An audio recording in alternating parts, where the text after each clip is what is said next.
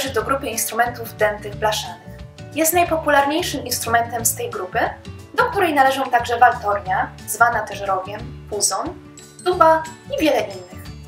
Występuje zarówno w orkiestrze symfonicznej, jak i w orkiestrach dętych, kapelach ludowych, zespołach jazzowych oraz jako instrument solowy.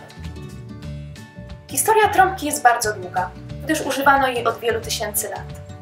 Najstarsze trąbki znajdujemy na rysunkach starożytnych Egipcjan, a dwie zostały nawet znalezione w grobowcu faraona Tutenchamona.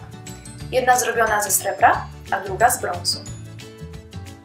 Pierwotnie trąbki używane były do celów wojskowych i wykorzystywane na przykład podczas bitew, razem z bębnami. Trąbka jest instrumentem transponującym. Jej najpopularniejszym strojem jest B.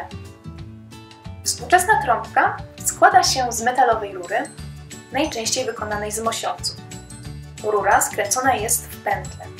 Z jednej strony zakończona kielichowym lub stożkowym ustnikiem, a z drugiej rozszerzeniem w kształcie dzwonu, czarą. Zespół trzech zaworów, najczęściej tłoków, otwiera lub zamyka różne drogi przepływu powietrza, umożliwiając zmianę wysokości dźwięku. Trąbka wyposażona jest także w jeden lub więcej zaworów, pozwalających na usuwanie gromadzącej się wilgoci. Brzmienie trąbki w dużej mierze zależne jest od techniki gry i może być łagodne i melodyjne, bądź ostre i wibrujące.